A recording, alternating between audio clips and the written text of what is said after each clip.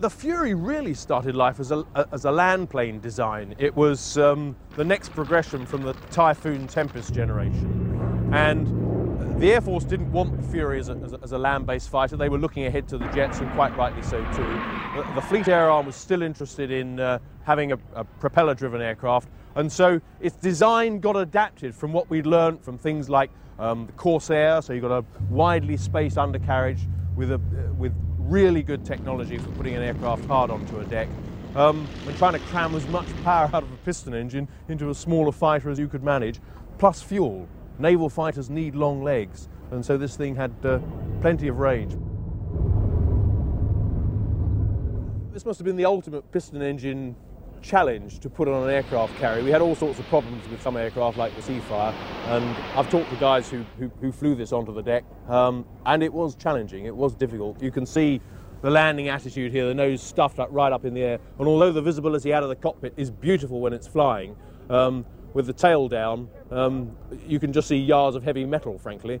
Um, so it was a curved approach. Um, and although the undercarriage was very forgiving, the speed regime was very close to the stall, and if they got low, they pushed power on, they ended up with a thing called torque stall, where the aircraft just rolled over and hit the island or went into the sea. So they had their work cut out putting this thing on the deck, they certainly did. As an aeroplane to fly, it's a complete joy. You're sitting in the middle of it, you feel as though you put the thing on like a glove, and although I've got very, very few hours on it at the moment, I feel very comfortable in the cockpit. I don't mean by that that I feel uh, that I know everything about the aeroplane, far from it. I'm on a very steep learning curve, but it is a complete joy to fly. And that difficult visibility when you're approaching the deck transforms itself into something that actually makes the aircraft very easy to fly once you're up and running because you've got a very good attitude uh, definition with the cowling out in front of you. It's tremendously responsive in all planes and it's got oodles of power.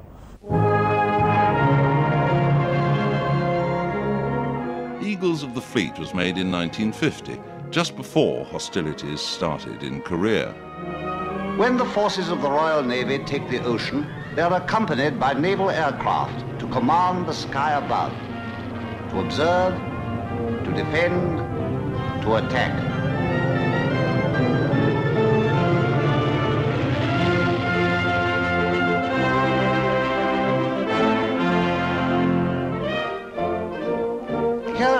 Let's enter the gates of a typical naval air station, where the flying sailors learn their trade.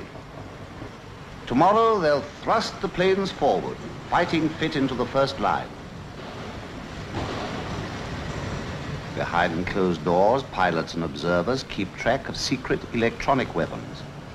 And there's dirty work at hand.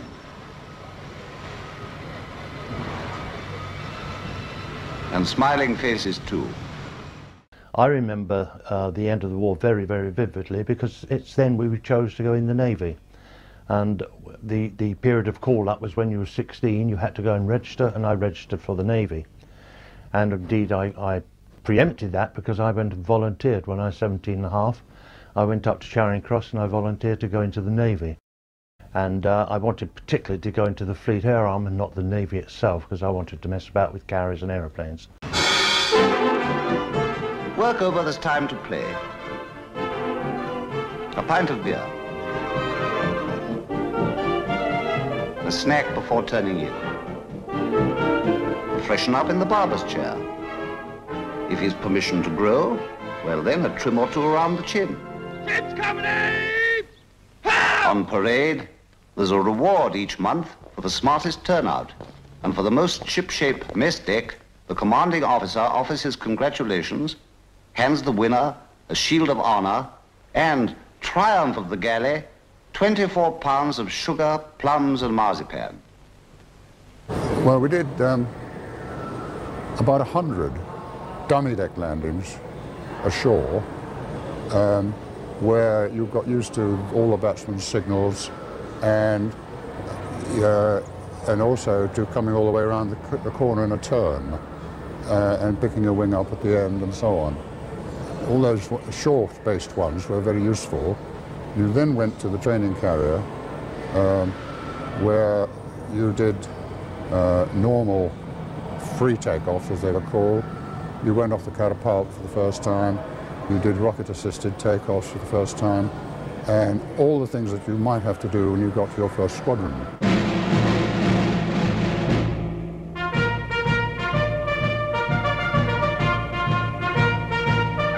Side by side, men and women of naval aviation march forward. Fully fledged now, prepared to take their places with the squadrons on land and on board the carriers all over the world.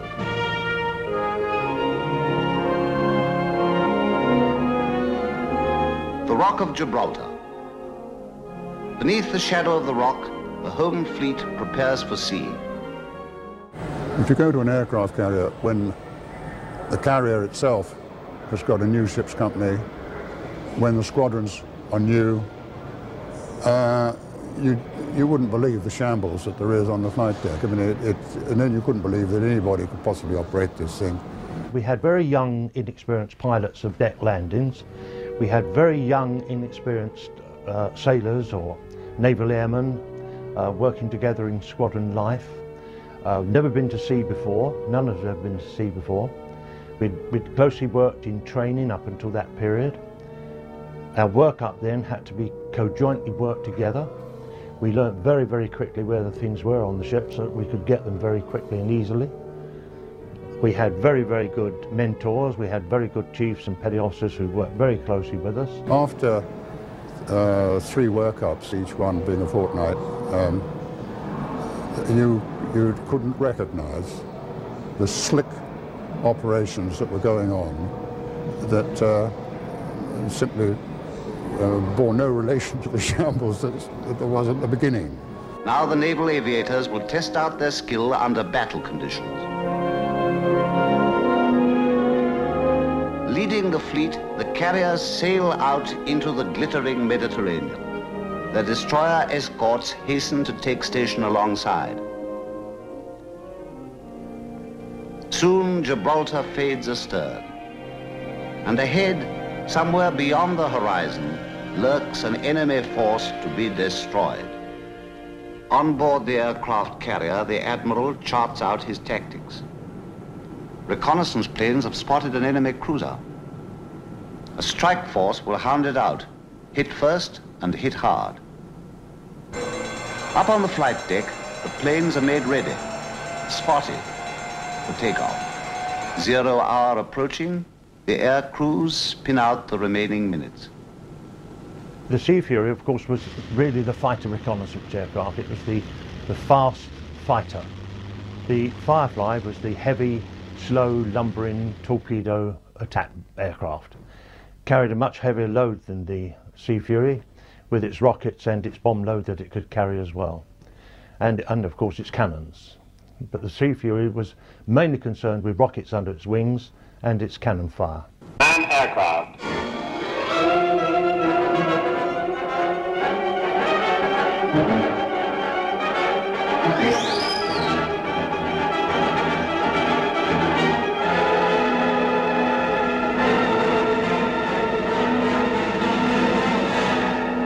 Stand by. Start up. The other most dangerous um, occasions that you had were when you had to lay on your chocks. So you had to lay fore and aft on the chock and then watch the DLC down the, on, the, on the deck. If he swept his arms away, you knew you had to roll out from the aircraft and go. And this you had to do dragging your chocks with you so you fell into the catwalks at the side of the ship. On one occasion, we had a youngster that unfortunately didn't roll out. He got up and walked forward. Nobody ever knew why he walked forward, but he walked forward and was straight into the prop and was killed. 20,000 horsepower set the very deck a quiver as the great ship alters course and turns into the Mediterranean wind.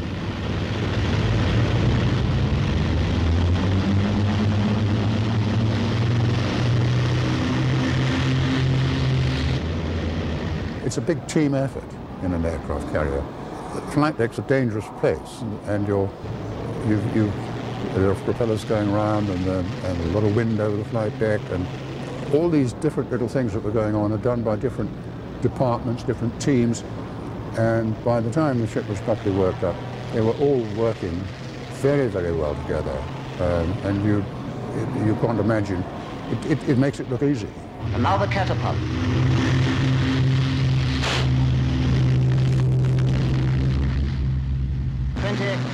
25, 2700 revs.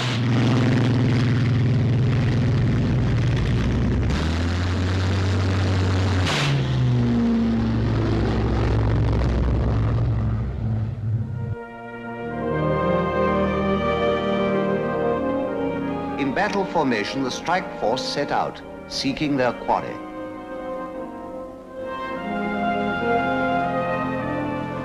Enemy cruiser to port, 340 degrees.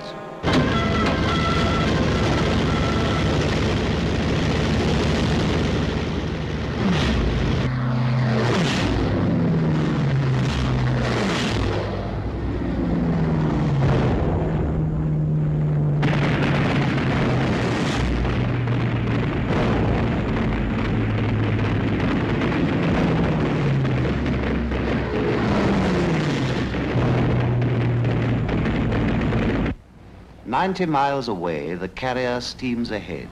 The aircraft handlers enjoy a short spell of sun. Soon the planes will be heading home. Combing the skies, the men below busily scan their radar screens, steering the planes safely back to base. Here comes the first one now. Easing round the bend, she approaches her tiny floating runway. Deck landing is the trickiest and the toughest test of all.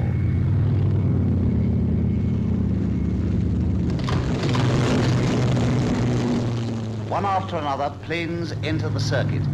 Eyes glued on the batsman, leveling wings poised for the touchdown.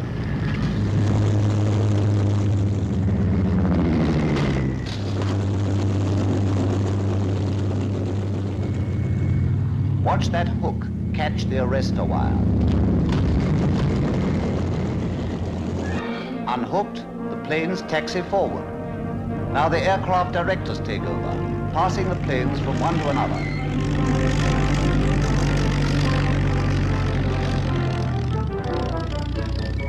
Right up to the very edge of the bows, safely parked, engines cut.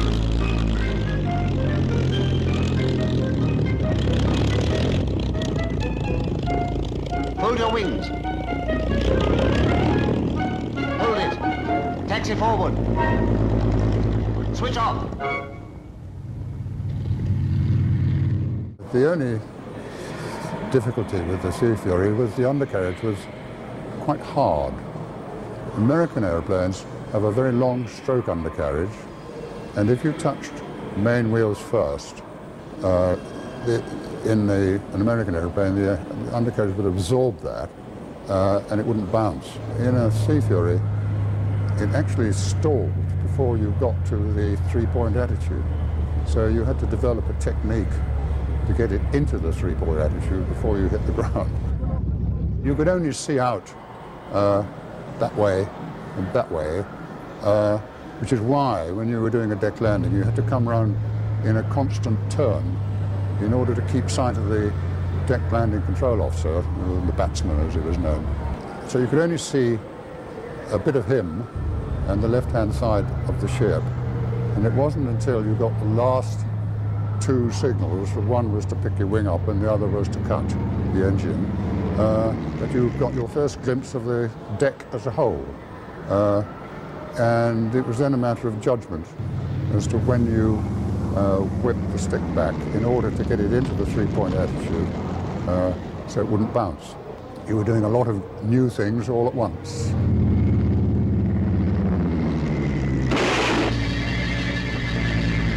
Fire's the danger. The firefighters dash in, their hoses at the ready. Incoming planes must fly round again, hooks down until the deck is clear. Preservation of life and limb, that's the motto on deck.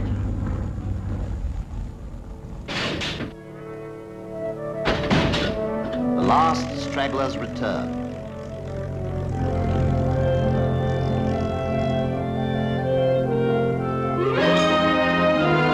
Yesterday, it was the wooden walls of Nelson.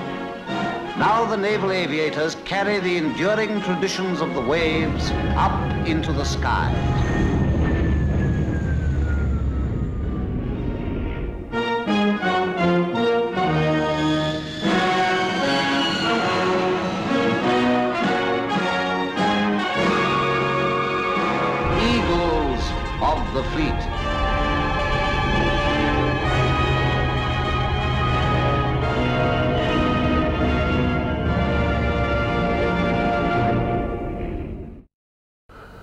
At the end of the war, Hawkers were still trying to get more out of the, Tempest design. The plan would be, let's build another aeroplane that's smaller and lighter and even faster than the Tempest, but still able to carry the same sort of weapons load. This rebuild would require the centre section be cut down in span and mounted to a reworked fuselage, but would retain similar outer wing panels as fitted to the Tempest. This new aeroplane would become known as the Fury, and it would actually be, but at the time, the fastest piston fighter ever built. The problem, of course, was that the Royal Air Force had loads of new Tempests. They didn't need another fighter. Therefore, there was no real requirement for the Fury for the, Air, the Royal Air Force. But the Fleet Air Arm did need this need a fighter. There were versions of the Spitfire available called the Seafire. The problem with the Seafire was, to put it bluntly, it was a pig to land. Its narrow undercarriage meant it was a pig to get onto a carrier deck. But even so, it, it was continuing in service, but purely as a point defence fighter for the fleet. The Fleet Air Arm needed a heavyweight fighter. And so the Fury, or as it would eventually become, the Sea Fury, would be the ideal answer.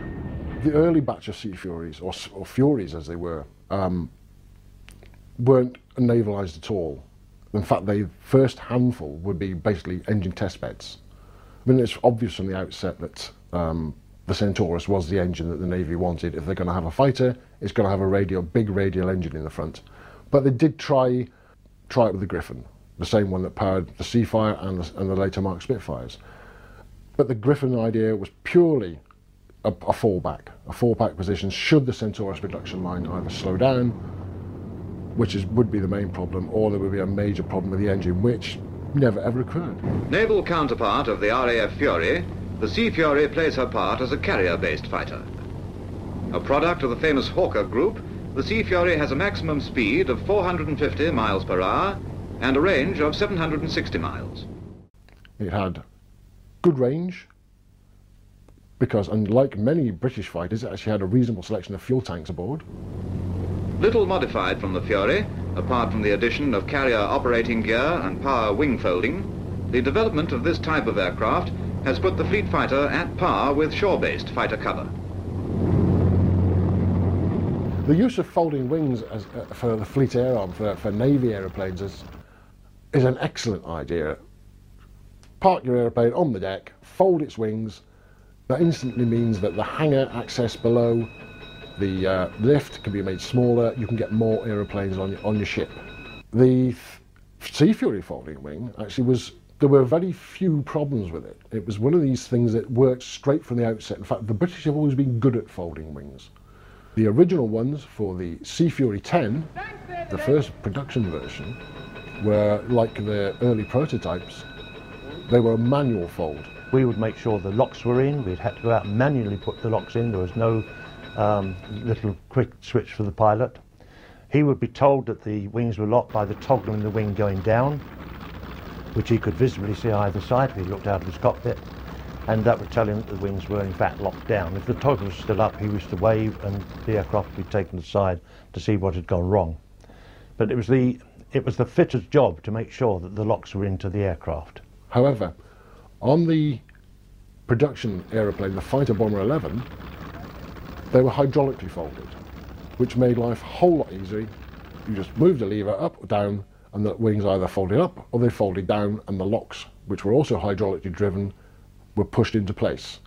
Whereas you're always relying on your ground crew on the Mark 10 to push the locking pins into place manually. The large cowling of the radial engine is made almost to look in line by the extra-large spinner.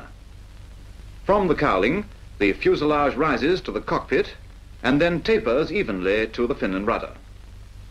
The fin is slightly faired to the fuselage, in contrast to the larger dorsal fairing of the Tempest, a close relation of the Sea Fury. The tail unit is also designed without the heel beneath the fuselage, so prominent a feature of the Tempest. The Sea Fury is powered by a 2,400 horsepower Bristol Centaurus 18. Note how its radial cowling gives the fuselage a circular appearance, with the cockpit mounted on top.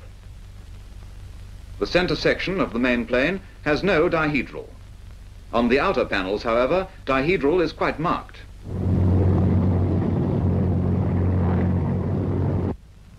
In plan, similar to the Tempest series, the wing shape is almost elliptical, with square-cut tips.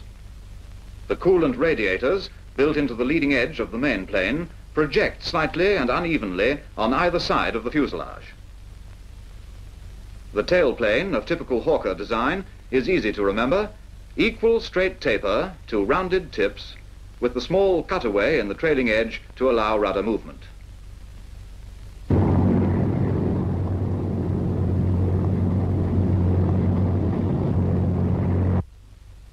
Note the hump of the blister-type cockpit, set slightly forward of the main plane trailing edge. This view also shows to advantage the rounded tail unit and the large spinner. When employed as a strike aircraft, the Sea Fury may display a variety of under-the-wing armament. It could carry a, a, variety of weapons, bombs, rockets, various, even napalm, although it weren't often used in, in service, leaflet dispensers, and in, on one occasion a reconnaissance pod.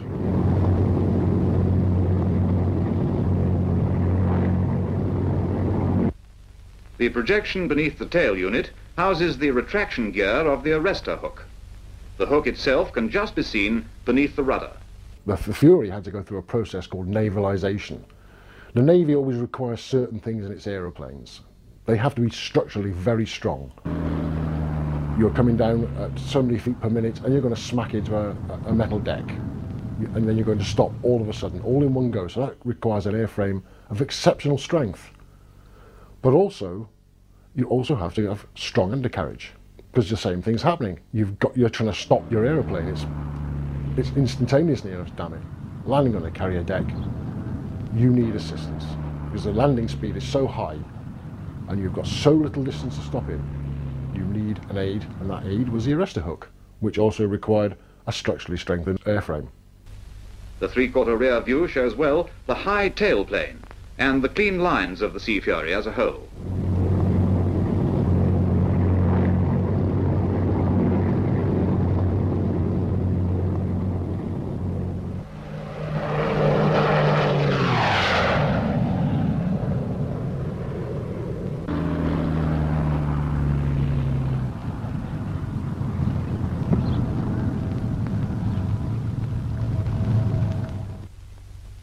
Sea Fury is armed with four 20mm cannon mounted in the wings.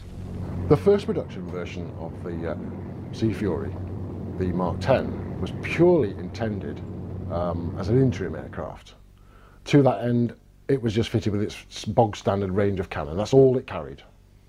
However, when the fighter bomber version came into existence, um, it retained the cannon, but added to that was the ability to carry uh, general purpose bombs up to a weight of a thousand pounds per pylon, or it could carry underwing rockets, which if I remember correctly were four per side.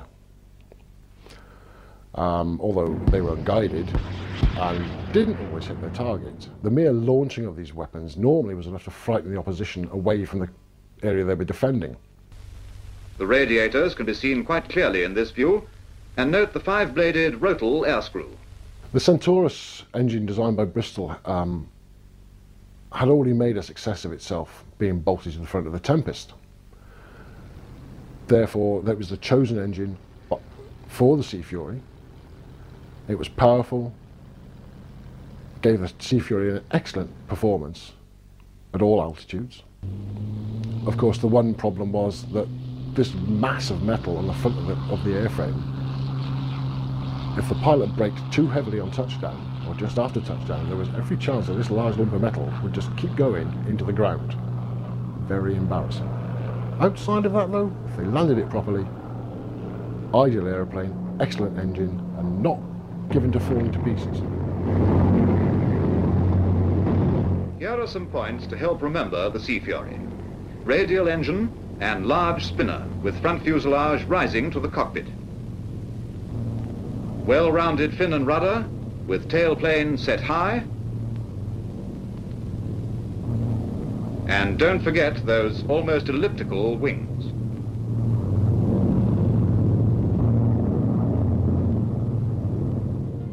It's surprising that the Admiralty didn't decide to buy a trainer version. The first um, examples of a trainer version were actually created for, of all people, the Iraqi Air Force. They had two separate cockpits with two separate canopies on them. The problem was they were so well sealed that the fact that the rear canopy kept collapsing. It was, it was cavitation caused by, by a vacuum, of all things. Just, the pressures weren't equalised, which is why on the production versions, especially for the Fleet Air Arm and other foreign buyers, it actually had this big glass house canopy fitted. The fourth Iraqi trainer was commandeered by the Admiralty, refitted to Admiralty standards, which was basically the same as it was then, with just a few extra sort of British bits added, you know, sort of navigation and um, instrumentation. And these were then issued to the training squadrons and also issued to um, all the land-based squadrons, many of which were actually reserve units.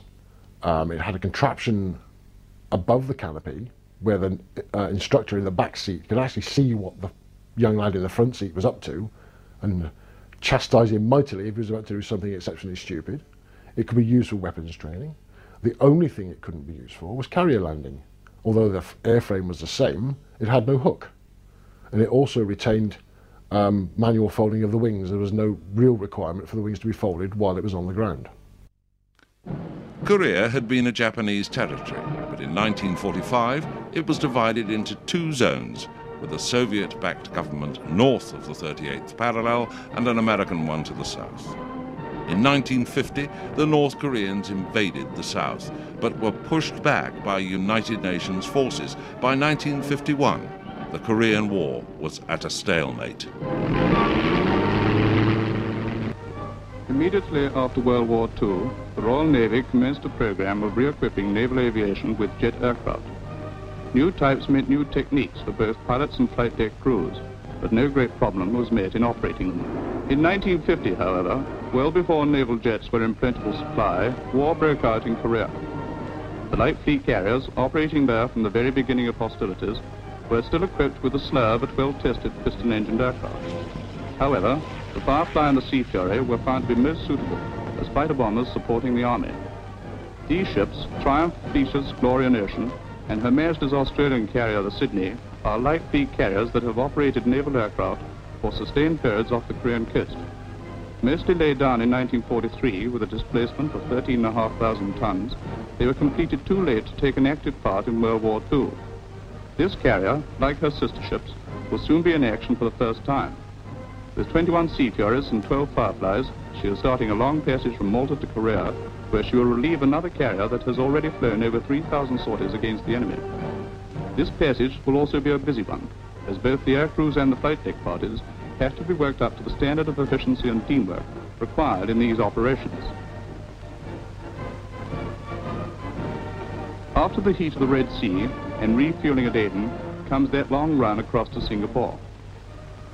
Here, there is a naval air station, HMS Simbang, which is responsible for supplying the Far Eastern carriers with replacement aircraft. The latter aircraft will be ferried to the operating zone by the maintenance carrier HMS Unicorn, part of the fleet train. The next stop will be Hong Kong, where the pilots will exercise air-to-ground support with the Army.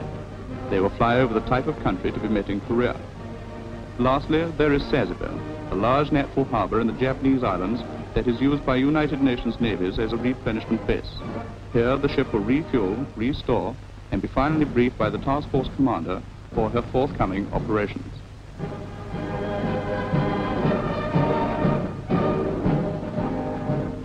Now let us take a typical day on this passage out.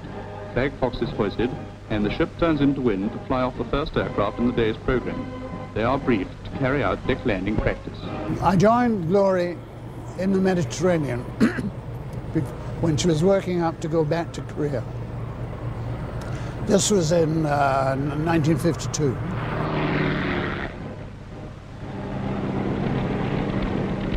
You see, a carrier takeoff is a comparatively simple thing.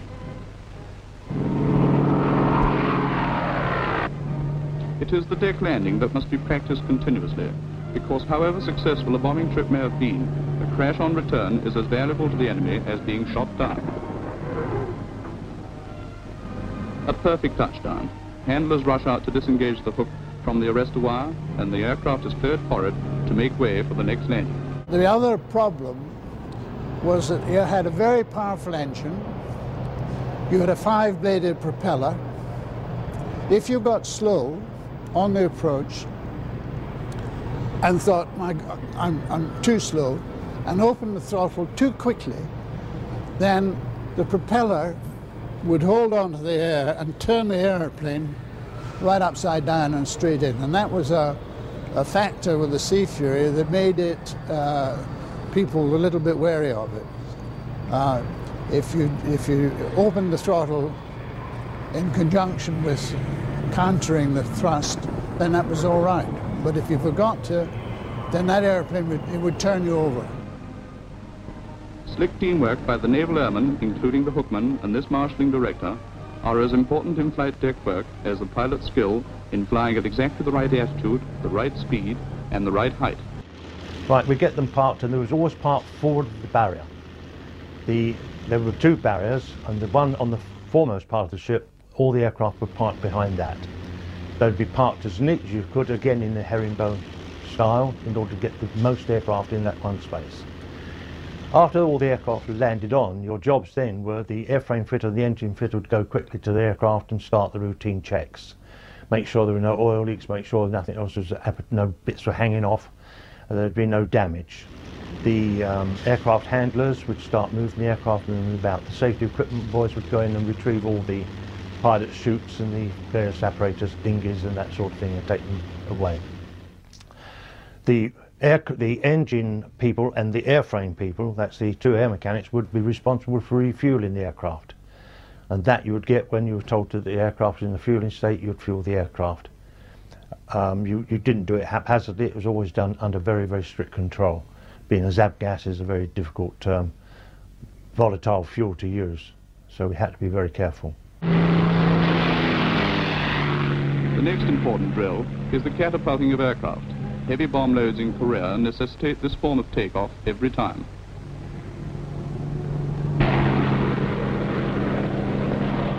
Then we had the occasion when the catapult refused to work one day and we had to fit the RATOG to the Furies. We couldn't fit them to the Fireflies, but we fitted them to the Furies. And the pilots had not had any chance to learn to take off with these and being booster rockets, they were there to boost the aircraft off. And when the pilot done his little switch in the cockpit, all the rockets should have fired and shot him off the deck. Fleet Air Arm has always been interested in getting its aeroplanes off its carrier decks in the quickest way possible. Now, obviously, their uh, carriers are fitted with steam catapults, but just occasionally when they're not working, another method had to be used, and this was rocket-assisted takeoff gear. These were fitted underneath the aeroplane, tubular, in clusters of two or three, depending on the aircraft size and, uh, and weight. This would de deliver a short burst of high-powered thrust, which would lift the aeroplane into the sky. Credit where credit is due. Most of the time, it worked. Unfortunately, we had an occasion with young um, Pilot 3 Lines, uh, with his rockets on the starboard side fired, the rockets on the port side didn't fire, and so it tended to ten, turn him over. Fortunately, he gained control and the aircraft was back down on the deck, and there was the catastrophe was then solved. The briefing would be you line up on the ship and you open the throttle, and when the green flag goes down, you let the brakes off, and off you go. There's a little man further up the deck. He will have a red flag and he will drop the red flag and you will fire the RATOG. If the RATOG does not fire, then you will have time to stop. Oh, that's good. So my turn came. I opened up the throttle, green flag dropped, off I went, got to the little red man with the red flag. I dropped the throttle, he dropped his flag, I pushed the button, and stuff all happened. Absolutely. So I put the brakes on hard and the aircraft sort of went, went straight towards the, bows. So I thought it'll stop, but it didn't. I went over the bows of the ship at an approximately uh, two miles an hour. Now, Sea Fury, no matter how high, hard you pull in the stick, will not fly at that state. So I shut my eyes, and the next time I opened them, after a long pause, I was just in time to see the propeller disc hit the water. So I shut my eyes again. It seemed the wise thing to do. Now, the hood would be open, so it uh, was open, and so when I opened the I, I was in the water, and the aircraft was sinking fast and going down. So I then had to disconnect myself from the aircraft. I got out of the cockpit. The airplane was sinking down upside down beside me. And I thought, what am I doing? I'll have to wait down here you know, until that ship passes. Because I hadn't seen the ship. I thought the ship would have hit me, but it didn't. And I, then a little voice said, don't be a bloody idiot, Leahy. You'll drown if you stay down here. So I thought, right, I better go up. Which way is up? And I wasn't too sure, so I pulled my Mae West, and that sent me in the right direction. So I shot off what, to what I thought was out from the ship. And I came to the surface about 10 yards out from the starboard after prop, the starboard prop. Uh, I took a great big breath of air, which turned out to be water because my oxygen tube was still dangling in the, in the sea. Tore the mask off in time to see a little sailor out on the quarterdeck who was busy scrubbing the quarterdeck look at me and obviously think, oh, these aviators are at it again, and went back to his scrubbing as I drifted off behind the ship. The destroyer sent its lifeboat to get me. When the destroyer went, when, the, when it came alongside the destroyer, I got so frightened I nearly tried to climb out again. But I got in, and they said, right, you better come and have a tot. And I said, well, I'd better not, I said, because I'm on the flying program for this afternoon, you see. And I, I think it must have been shock that made me turn down the thing. But it proved that we couldn't use the RATOGs efficiently, and so they were discarded until a later date. But in fact, then after that, we didn't use them at all. Gradually, the number of deck landings mounts up, and since practice makes perfect, it is easy to see how these Korean carriers have several times completed over a thousand consecutive landings without a deck accident. Well, we had quite a few accidents on the deck, mainly um, mishaps by not catching the right arrest wire. If you caught arrest wire number 10, there were 10 arrest wires, if you caught arrest wire number 10, you knew that the aircraft was going to go into the barrier. It would go into the first barrier. And if you were very, very fortunate, it'd only shatter the prop or bend the prop. If, however, you missed the wires and you went into the barriers at full pelt, then of course you nearly you wrecked the aircraft. We had several occasions where hooks would break off when the aircraft was coming into land. The hook would actually pull off the A-frame and of course the aircraft then had nothing to stop it and go straight into the barriers. We had one occasion when um, Lieutenant Bailey, he came in with a Firefly, he missed all the wires, he boosted to go off again, but unfortunately his hook still being in the down position, and in those days you couldn't retract the hook, so it's hanging down four or five foot from the aeroplane. You couldn't, he couldn't retract it while when he was in the air, and the hook as he was boosting to go off in the surge, caught the barrier as it was on the way down. This pulled him back, pulled all the arrestor arrangement off the aircraft, and the aircraft went straight into the forward park. The Fireflies it knocked over the bows, and the Sea Furies it knocked into the side sponsons.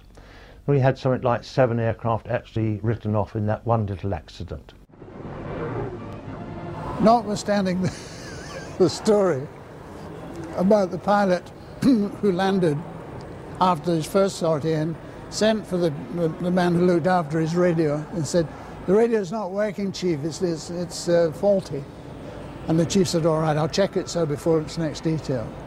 Pilot was off again on its next detail. Both air, air crew and the airplane having sat in the deck while the next lot were not. Pilot went off again, came back, Chief, he said, that aircraft, it's not working. He said, well, I'll check it again, sir. At the end of the third sortie, he came back and he said, no, it's not working. And the chief said, well, I think the problem must be between, must be between your earphones.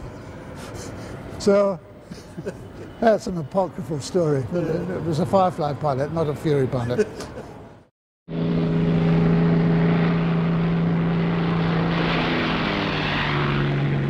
And so it goes on. Well, as far as delivering weapons were concerned, you were very well prepared because you'd done a lot of that uh, back in the UK. Obviously, for training purposes, using full-blown 1,000 pounder general purpose bombs, it's expensive. It also leaves big holes in the ground. What was known as the smoke and flash bomb was invented. Um, this small bomb, uh, weighing no more than around about the 28 pound mark, was used by trainee pilots to understand how their aircraft delivered weaponry. A similar idea would be used with the rockets. Again, you've got all the problems associated with a live weapon, a live warhead. So instead of having a warhead on a rocket, they put a 60 pound lump of concrete.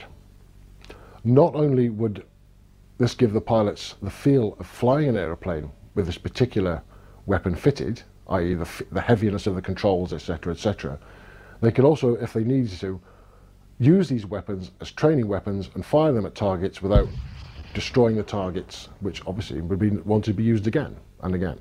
The next aircraft are briefed to carry out rocket and bomb attacks against a target towed astern of the ship.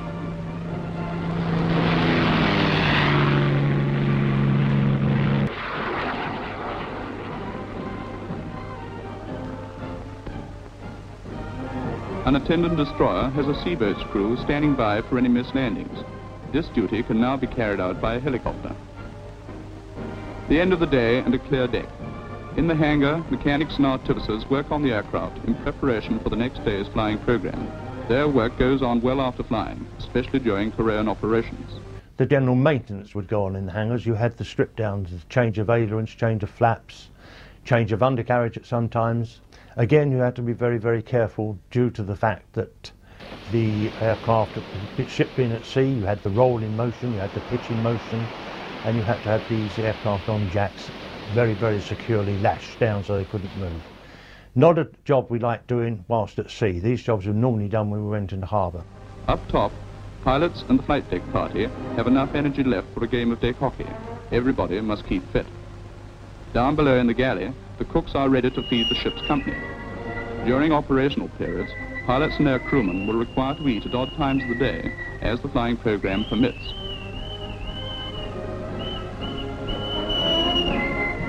Eventually, the ship will arrive in Korea, and her aircraft will find many jobs waiting for them. Firstly, blockade, preventing the enemy from supplying its frontline troops by sea. Perhaps a coastal vessel or a fleet of junks will be sunk by the early morning patrol. Secondly, carefully briefed and heavily armed strikes on the main North Korean bases such as Pyongyang and Chinampo. Thirdly, interdiction, the disruption of enemy supply routes behind his front line. Constant armed reconnaissance catches all troops and transport moving by day. Fourthly, close air support. Working with forward observation posts and spotter planes, targets can be attacked a few hundred yards ahead of the army. Fifthly, combat air patrols and anti-submarine patrols around the fleet. When you were trained and you got your wings, you would be sent to Operational Flying School 1, then Operational Flying School 2, where you learn how to use your weapons, and then it was uh, said Korea was Operational Flying School 3. Let us switch now to the carrier already in Korea. For the last few days flying, she is taking on oil fuel and aviation spirit from a fleet oiler, while her screening destroyers also need refueling. High-intensity flying during the past six months has not only meant frequent oiling operations like this, but also periodical visits to Sasebo to replace the 600 tons of bombs and rockets and over half a million rounds of cannon ammunition expended by the aircraft. The provision of weapons was slick. The, the bombs arrived, the, the, the sort of uh, cannon fodder arrived, everything on it and that. The destroyers in the task group have had long periods of escort duty in sometimes very unkind weather conditions. Never mind the fact that it was appalling weather sometimes. Uh, it was very cold all the time we were there.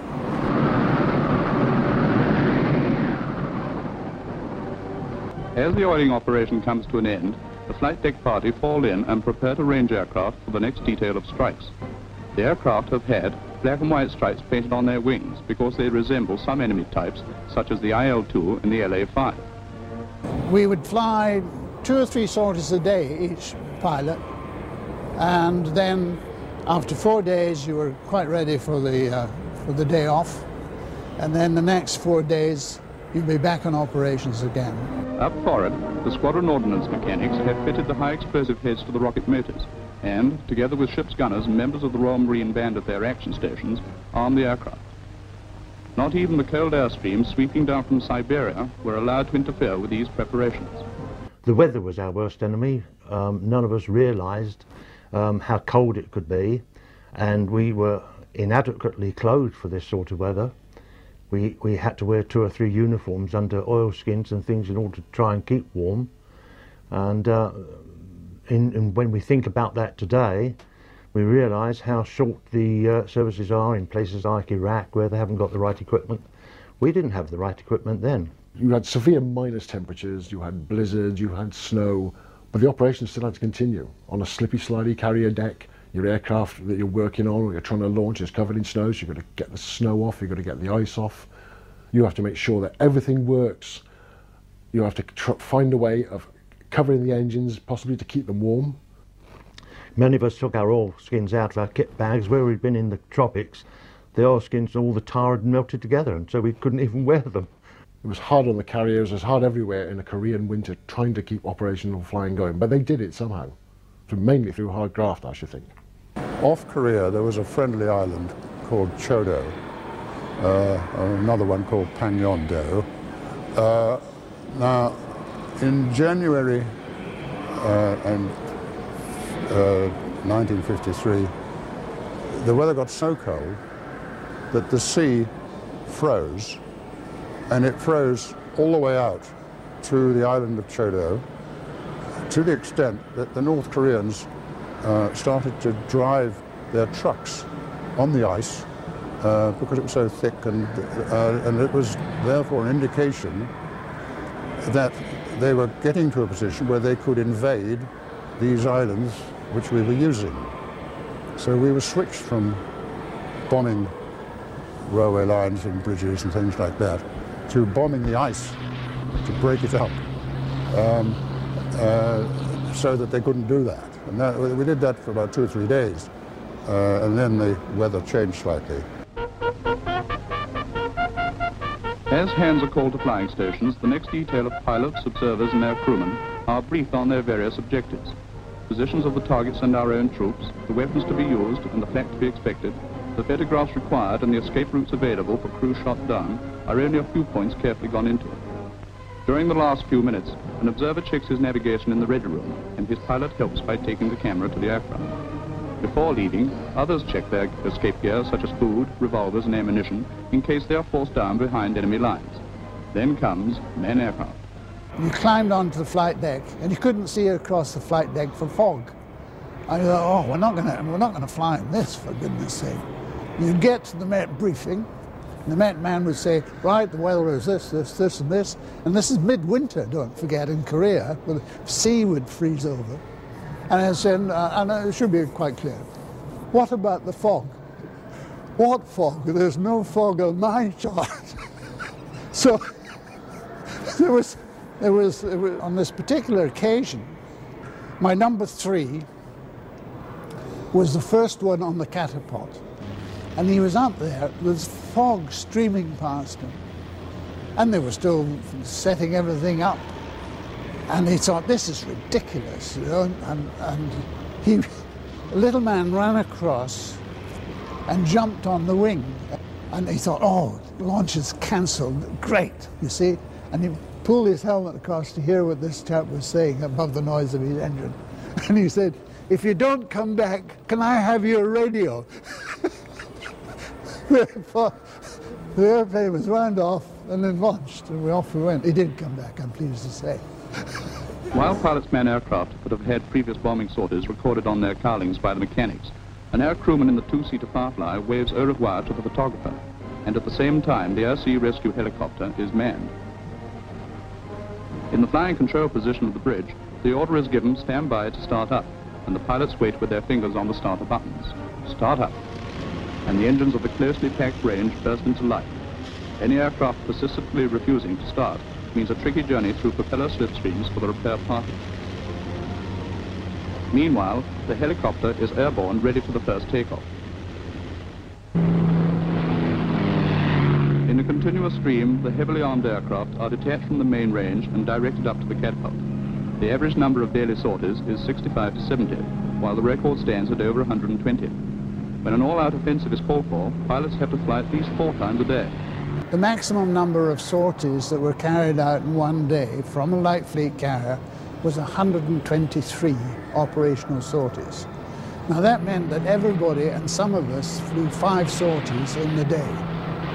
Uh, the previous carrier, HMS Ocean, had set that record. And we set ourselves to do that record and complete by tea time. so so we could have gone on, but we said, well, we've done it. We don't want to start a war here. We just set the record, and we had 123 armed sorties carried out from Glory uh, on that day.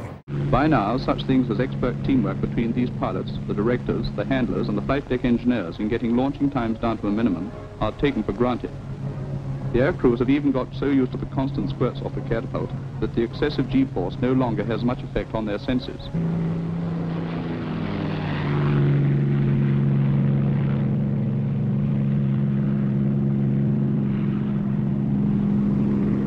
The stokers have hooked the aircraft on. The stoker department looked after all the catapults and they looked after the arrestor wires. The pilot opens the throttle to full power. The engine room artificer waits for the flight deck officer's signal. Down green flag, and away we go.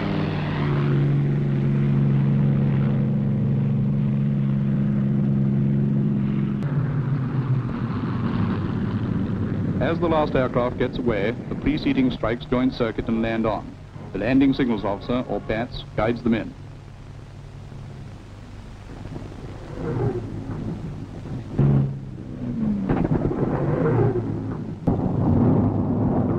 Aircraft are parked close up forward to make a clear deck for those landing and will immediately be refueled and rearmed for the next sortie. Meanwhile, the rain's just flown off, takes departure towards the objectives.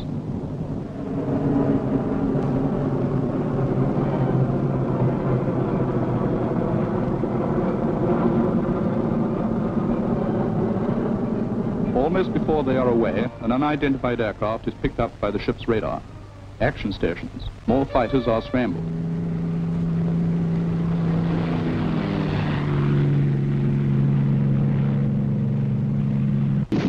Whatever it was disappears off the screen.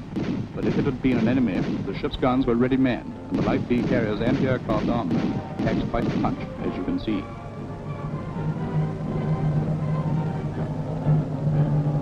Our aircraft are meanwhile approaching the enemy coast, and will soon be splitting up into separate flights for their various duties.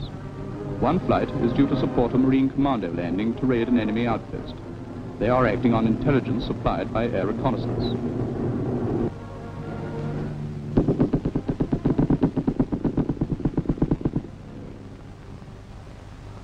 As the Marines go ashore, a Canadian destroyer waits to give a covering barrage. The call for help will come as the hidden enemy halts the advance of the Marines.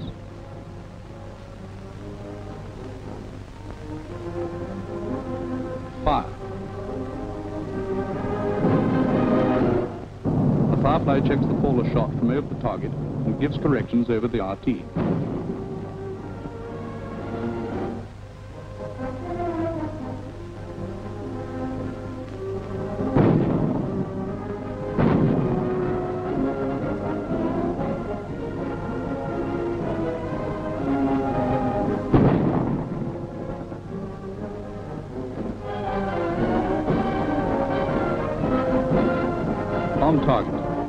Be the time for the Furies and Fireflies to come in with their bombs, rockets, and cannon.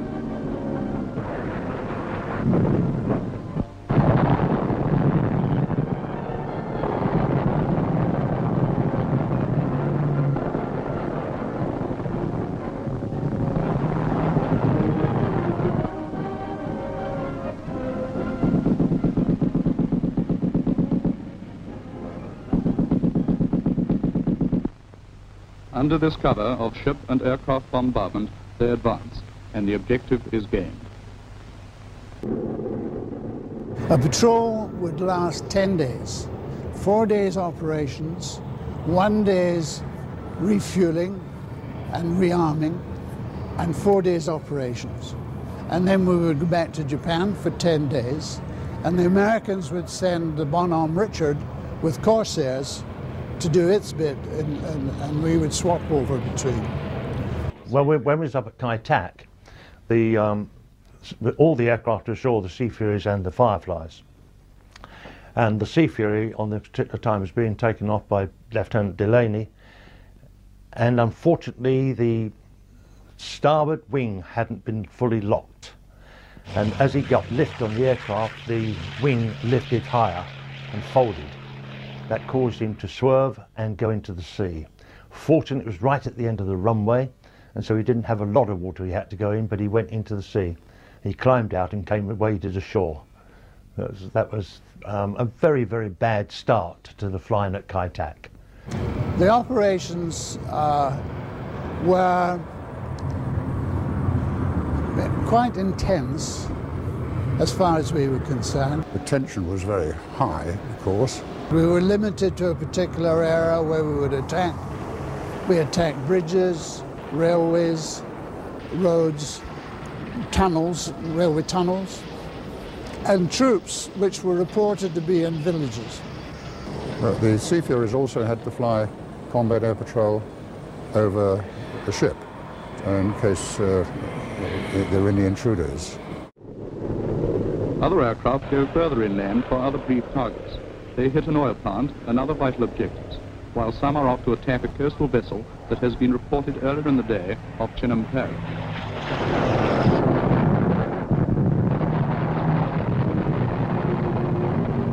Yet another Firefly is reporting fall or shot for the American battleship, the Mighty Mo.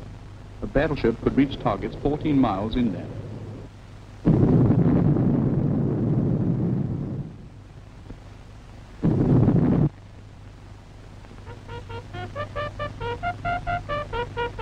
Back in the ship's direction room, a course home for the returning pilots has been checked, and hands are called to prepare the next range for flyoff. This happens at least six times a day, and there is little respite for the maintenance and the handling parties. Overall, we managed a 95% serviceability rate for the aircraft all the time we was in Korea, which then enabled us to receive the Boyd Trophy, which is a very high award. We got very proficient at knocking down bridges not as proficient as the Koreans at rebuilding the damn things. I mean, they, they would you knock a bridge down, big hole, gone, the bridge would be gone. Come back the next day, the bridge would be back again.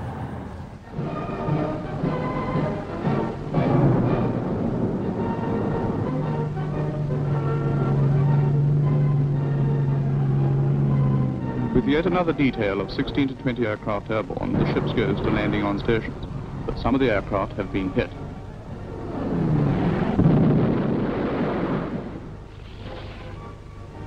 No one is hurt, however, and Jumbo the crane soon clears the deck. Meanwhile, there is a quick debriefing by the squadron commanders to find any last-minute targets of importance for the departing strike.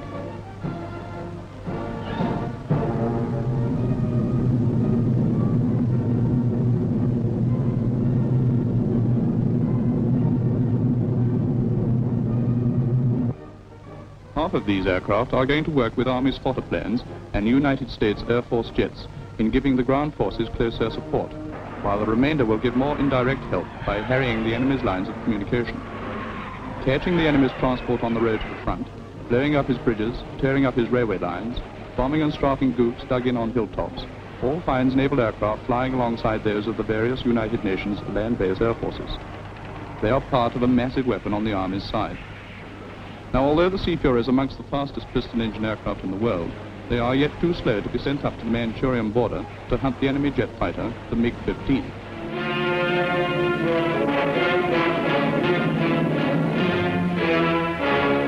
Their speed did not stop them, however, from shooting down one of these 600-knot aircraft and crippling two more when eight of them were met over Chinnam Po.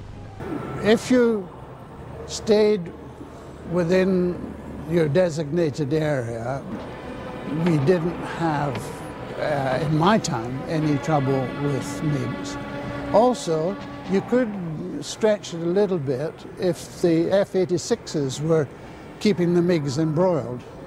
But as we found out, if you stretched it a little bit, and they weren't being embroiled by the, uh, uh, the F-86s, a couple of MiGs would be after you like a flash. You were very conscious that they were about. We weren't uh, particularly afraid of the MiG, because as long as we could see it, we did not think he could catch us. We were so much more maneuverable. Their fuel consumption at low level was very high, um, and so they tended to stay high and then come uh, try to get behind you and then come diving down and make one pass. The fact that the MiG was coming was not a problem. You kept an astonishingly good lookout, um, and you flew in a type of formation where each one of you could look after the tail of one of the others. If you were high enough, then the American uh, radar, which was on one of the offshore islands, could give you assistance. And if they saw uh, bandits coming out in your direction, they would tell you. And what we had to do then was go like as fast as we could to get over the sea, because the MiGs did not want to come over the sea and mess about.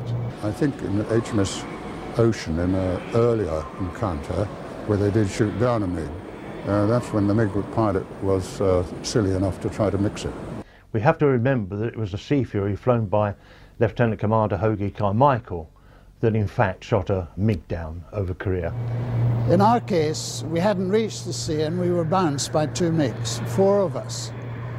Um, we broke to port and as I, as I broke round, I looked at the, uh, at the jet, which was coming straight at me, with this 37 millimeter gun going a boom for boom for boom underneath it. Luckily, it was pointing at me, and I was going at right angles, so I thought he's going to miss me. A Fury would turn tighter than a MiG, um, so if he tried to follow you around, and uh, if, they were silly enough to try and mix it, um, they would find that they, they were slowly giving the advantage to the Sea Furies. Started to reverse my turn, he shot past and was off and away like a rocket, and he didn't come back. Neither of them. They, they, they made their pass, they missed, and they weren't going to try again. They, they, that was their, their little job, because they knew anyway that we were going to be over the sea the next time round, and they, they just did not like that. So we would if we could, uh, would ease out over the sea uh, and they wouldn't follow us. Uh, and then we'd go back in again. The, I've got a feeling that that's because the MiGs were not all flown by Chinese or North Koreans. I think there were a few Russian pilots in there. And that might be a reason that they didn't want to come out over the sea because the Allied uh, group had total control of the sea. And if one of theirs came down in the sea, uh, they'd find that very embarrassing, especially if it was a Russian pilot. The enemy's speed advantage was nullified by the maneuverability of the naval aircraft and the quality of the pilots.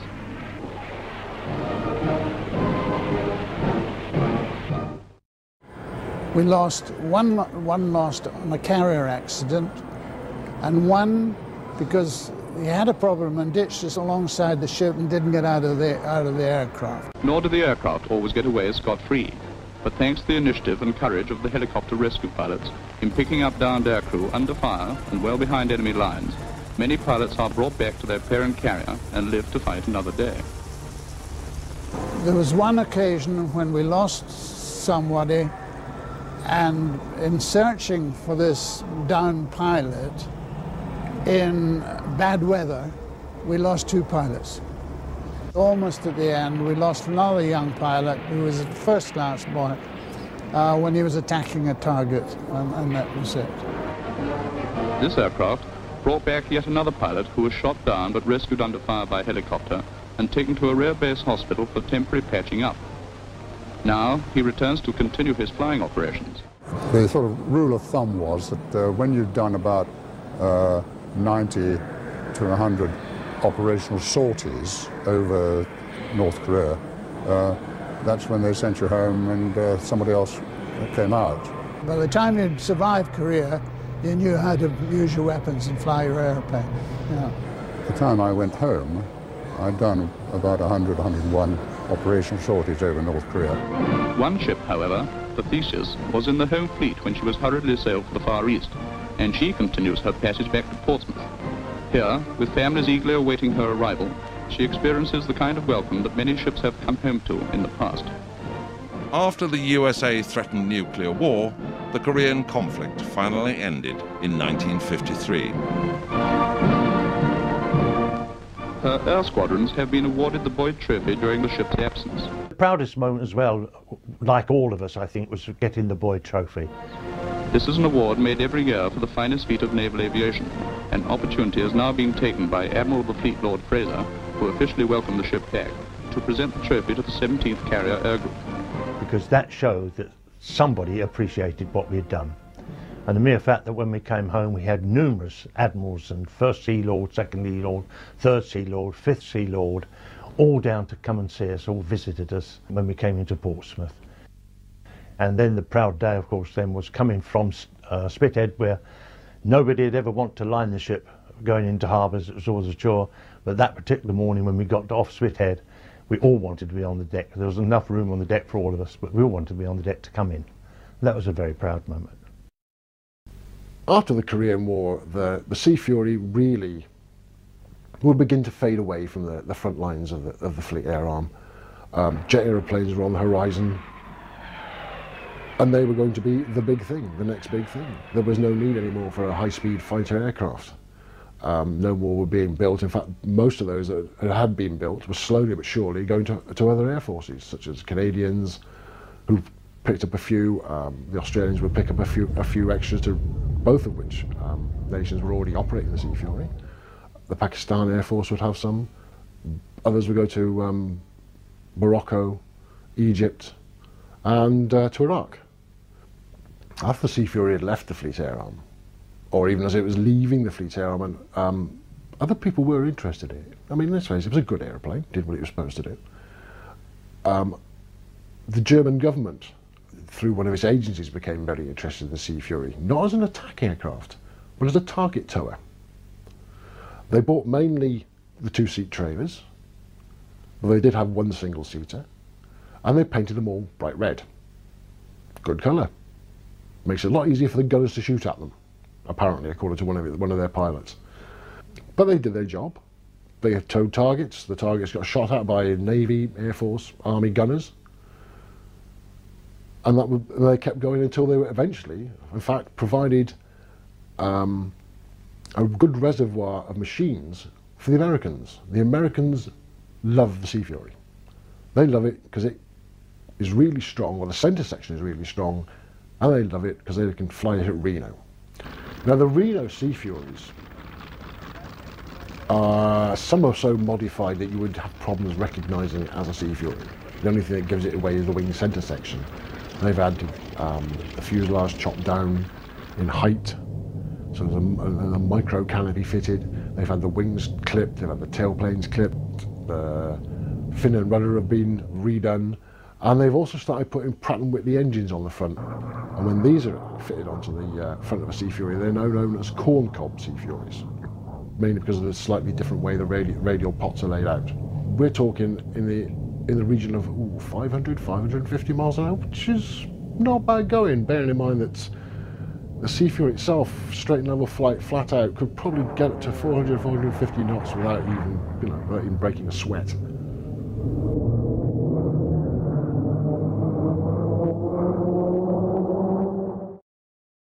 The Sea Fury, bearing in mind the circumstances that faced the Fleet Air Arm, was the right aeroplane in the right place at the right time. It gave them, it gave the Fleet Air Arm um, a stable strike attack platform, a good fighter with long legs that was more than capable of holding its own in combat against anything that came towards it, including the MiG-15. It had uh, even more power than the Seafire. Um, it had a, a, more roomy cockpit. Uh, it, it also was a very beautiful aeroplane to fly. It, it, uh, the control harmonization on the Fury was very good. All in all, a good aircraft. They were very easy airplanes to maintain and service.